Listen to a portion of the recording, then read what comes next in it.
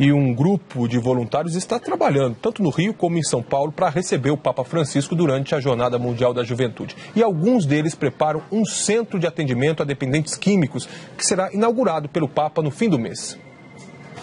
No meio de um hospital nasce um novo espaço. Mudança no piso, flores e um palco. É a Praça do Papa.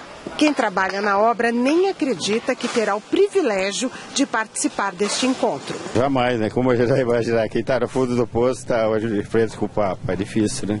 Antônio está livre do crack há oito anos. Ele é monitor do Lar São Francisco de Assis, na Providência de Deus, no interior de São Paulo, e ajudou a criar a cadeira que o Papa usará nesta celebração no Rio, no dia 24 de julho. Dependentes químicos em processo de recuperação serão os convidados de honra neste encontro com o Papa Francisco.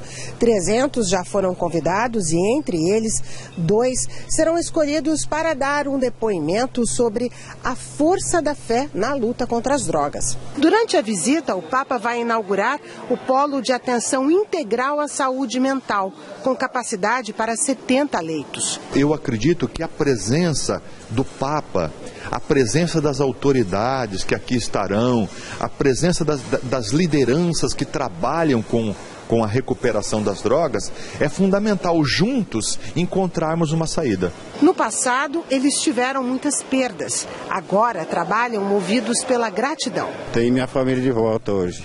A amor dos meu, meus irmãos, mãe, tudo isso, graças a Deus, consegui e o respeito dos outros. Para mim ter chegado até aqui, já me mostra que eu estou no caminho certo, né? E principalmente hoje, aonde eu estou chegando, é uma coisa que é algo que eu nunca esperava chegar. A Jornada Mundial da Juventude começa no dia 23 e vai até o dia 28 de julho.